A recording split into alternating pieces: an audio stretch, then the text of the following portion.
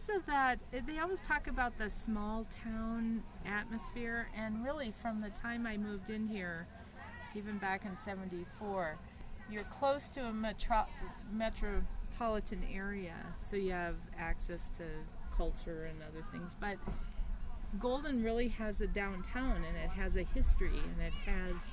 it has a real sense of community that I haven't really experienced even I mean, they have the neighborhoods in Denver and that kind of thing, so that gives you. But this is like a real community, and it feels like when you go to events or whatever, I feel like I'm at a party all the time of people that all share a common interest, so a common bond, I guess.